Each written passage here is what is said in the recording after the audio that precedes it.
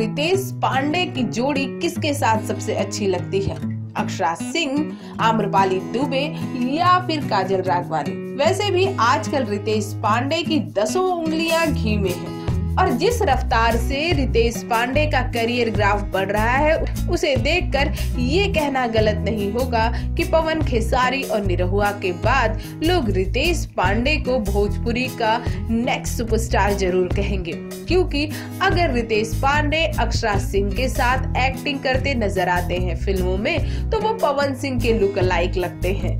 साथ ही साथ अगर वो आम्रपाली दुबे के साथ फ़िल्म में नज़र आते हैं तो वो निरहुआ के लुक लाइक लगते हैं। और अब रिसेंटली वो काजल राघवानी के साथ नज़र आ रहे हैं एक फ़िल्म में तो वो खेसारी लाल यादव के लुक लाइक लग रहे हैं, जिसका फ़ायदा रितेश पांडे को बहुत अच्छा हो रहा है। रितेश पांडे के साथ आज भोजपुरी की हर बड़ी हीरोइन काम करना चाहती है।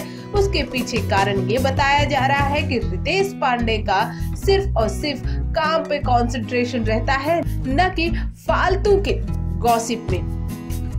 यहाँ तक कि आपको हम ये बता दें कि पवन सिंह, दिनेश लाल यादव, निरहुआ और खेसारी लाल यादव के साथ भी रितेश पांडे के रिश्ते काफ़ी बेहतरीन हैं।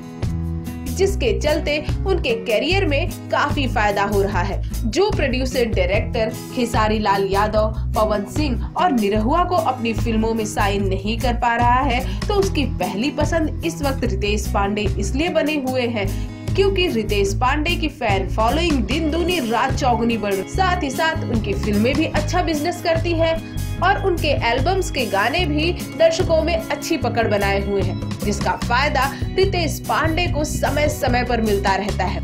और यही कारण है कि रितेश पांडे आज सभी के चहीते स्टार बने हुए हैं। और यही आलम रहा तो रितेश पांडे आने वाले वक्त के पवन सिंह होंगे। भोजपुरी जगत की हॉट और मसालेदार गॉसिप के लिए हमें सब्सक्राइब करना बिल्कुल न भूलिए।